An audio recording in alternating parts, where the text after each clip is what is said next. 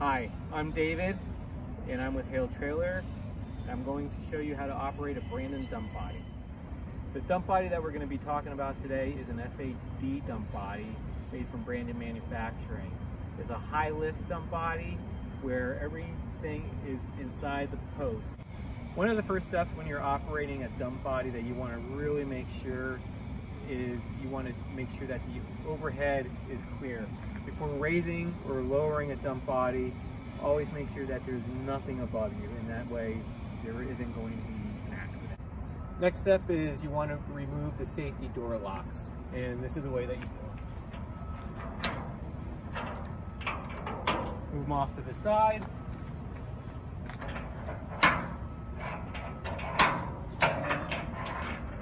Move it off to the next step that you want to do is release the end latch and that's by pulling this up.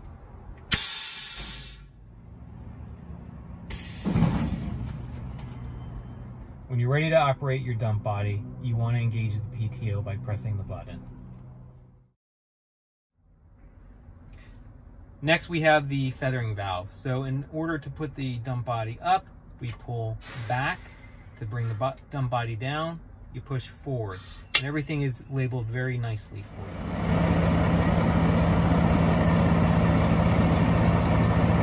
When it's time to operate the high lift gate, what you want to do is you want to go and you want to pull this button up and that will then engage the high lift.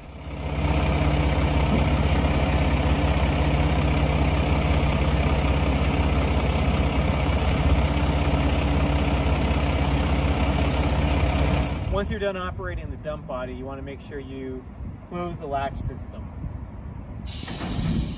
Remember to reattach the safety door locks.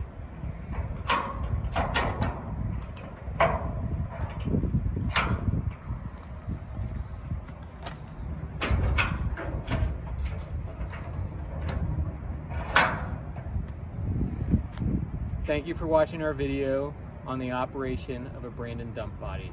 And remember, Hale has it.